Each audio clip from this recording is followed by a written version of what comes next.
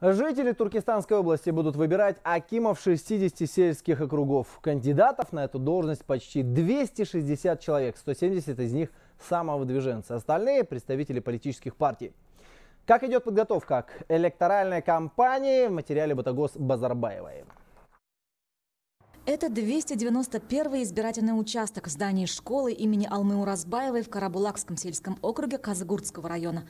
Прямые выборы Акима населением – серьезный шаг и большая ответственность, говорят сельчане.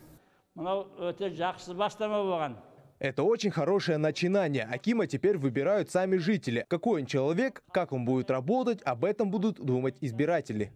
В районе будут выбирать акимов пяти округов. Зарегистрировано 20 кандидатов.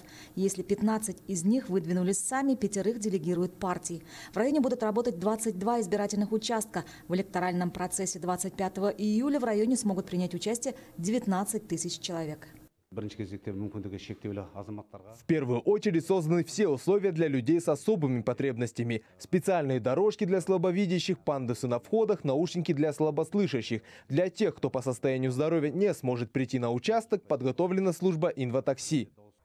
В регионе выборы будут проходить в 242 избирательных участках. Из 259 претендентов на кресло Акимов 68 прошли регистрацию. 14 июля стартует предвыборная агитация, которая продлится 10 дней. Сами выборы пройдут 25 июля.